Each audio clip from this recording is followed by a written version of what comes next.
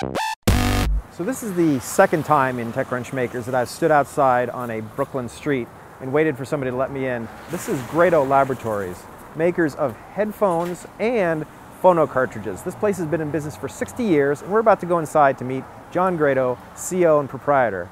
I'm John Biggs and this is TechCrunch Makers.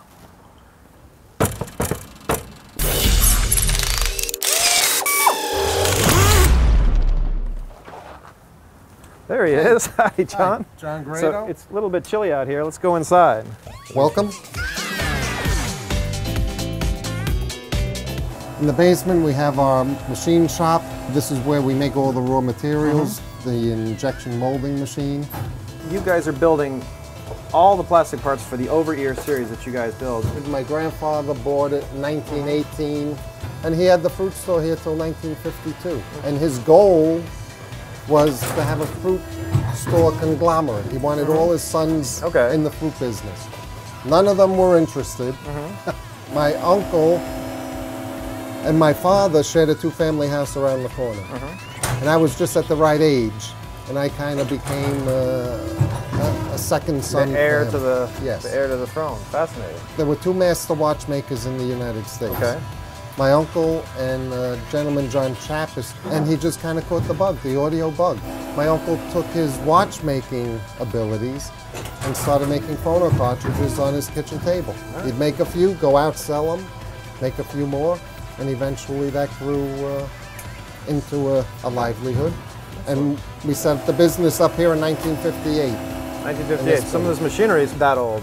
I don't think any of the machinery was bought new. The manual stuff, if you know what you're doing, it's less problematic. Today, we produce about 60,000 phono cartridges and about 150,000 headphones a year. In here, we kind of do the final assembly of the higher end cartridges.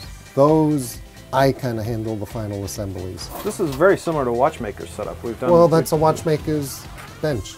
And you guys are just using the same tools and the same techniques to produce a very, very high-end phono cartridge, Right. which is beautiful. This is where we will test the cartridges.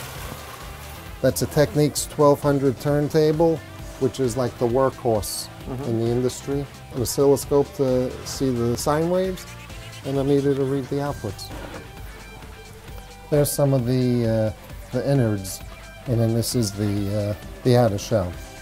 This is our original molding machine. Just does the parts for the phono cartridge. Basically, the plastic pellets go in here. This is your heating element. The mold. The mold closes. This is your plunger. It pushes it in. So This whole area was my grandfather's fruit store. And when they had the fruit store mm-hmm. here, they lived on the top floor. Okay. So this is where we manufacture the phono cartridges. Fernanda is doing assembly of the generator system for the mm-hmm. stylus. Francisca's mounting the coils in the chassis. this is amazing handwork. This is on par with watchmaking. The design, mm-hmm. the parts are all designed like parts of a watch.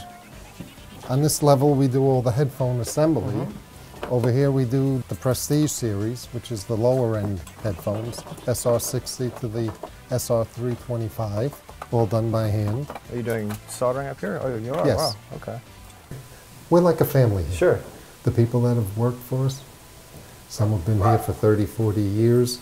We don't really have a high turnover of people. Mm-hmm. I don't think a machine could do what we do. All right. So I've gotten an amazing opportunity. I'm here with Lorena, one of the. This, you're the high-end headphone manufacturer. Is that right? That's correct.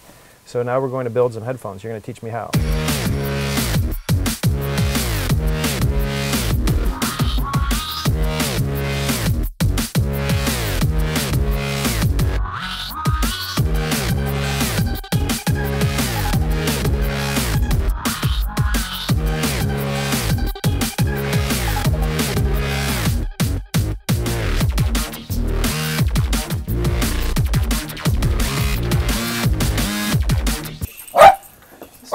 So this, is, uh, this is, what's what's this guy's name?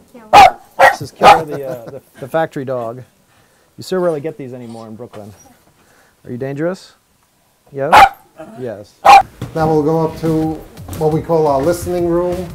We'll do design work in here. This is where we'll do the official listening. What are some tips that you would have to, to building a family business like this and building a hardware business in a place where I guess a hardware business usually wouldn't take root? We're very big on tradition, family, neighborhood. This is where I got my education. Um, you know, I had my formal education. The formal education helped a little with business, but really my education business-wise was looking over my uncle's shoulder and then him looking over my shoulder to make sure I was doing it right. Um, and just to think that my father, when he was five years old, was running around this building. Uh, I'm looking forward to keeping the family tradition in Grado, and I feel like we've had 60 plus years to perfect our sound, and I feel like people know about us, but I'd like to help the company grow. If my dad were building headphones in a beautiful old building, and how did it feel when you were a kid? Well, I'd go to career day and like the seventh grade, and baseball players and businessmen and everything, Sure. and I'd go with headphones around my neck, and I'd be like, I want to be a headphone maker, and there were no other ones, and I always started to feel like maybe it's not that cool, and then so I was kind of embarrassed about mm-hmm. what my dad did for a while because no other ones out there. But then I woke up one day and I was like, I'm an idiot.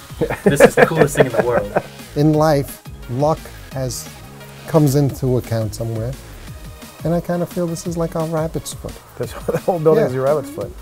So this is Grado Labs here in the heart of Brooklyn. This is one of the most amazing tours I've ever taken. It's a factory inside a former fruit shop slash apartment building, and it's really, really great to be here. I'm John Biggs. This is TechCrunch Makers. Thanks for watching.